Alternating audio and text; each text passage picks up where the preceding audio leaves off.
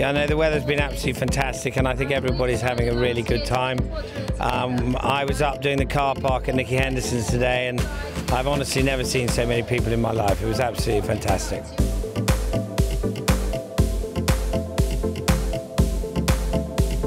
It's great to see massive crowds.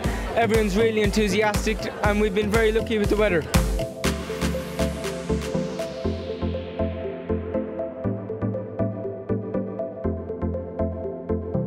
I mean, it's just amazing how these yards open up. People have been to the, all the best yards around here, and the doors are open. And you wander around, and you pat these legends, and it's uh, very important, very special. And whoever came up with it, the idea, I mean, look look at the numbers today. It's uh, it's amazing.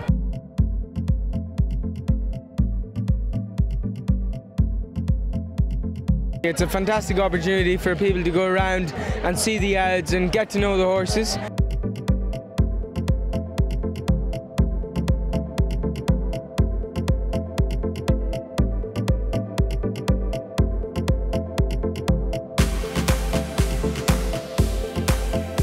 But it doesn't happen if the stable staff don't really put their backs into the day and that all the trainers support it and the local community supports it. So, um, no, it's been a great success and today has, has been wonderful.